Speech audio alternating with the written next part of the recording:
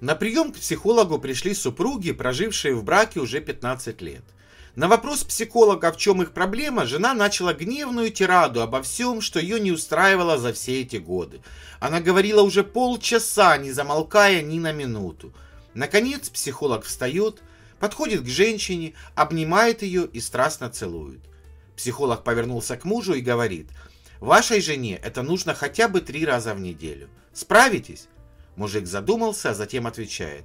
«Ну, я могу привозить ее сюда по понедельникам и средам, но в пятницу я играю в футбол».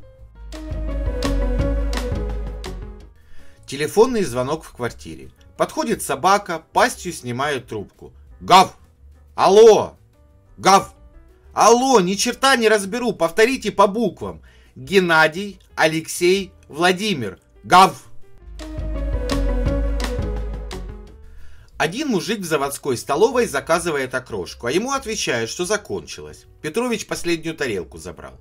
Но он ищет взглядом Петровича и видит, что тот уже пообедал, но окрошка нетронутая стоит. Но он подходит и спрашивает. «Петрович, а ты что, окрошку не будешь?» Петрович отвечает. «Да нет, угощайся». Мужик обрадовался и начал лакомиться.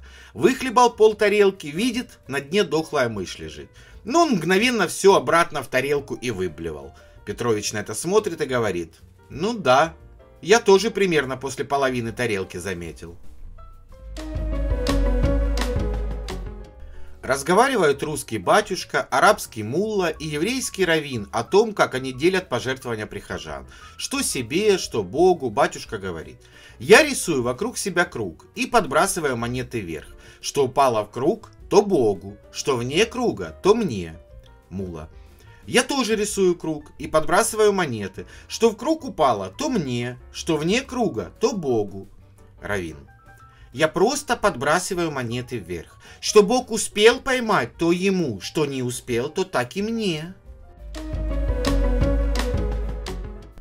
Неопытная молодая гадалка нагадала Василию два года без секса. Но Василий не растерялся и тут же дважды доказал ей, что она шарлатанка.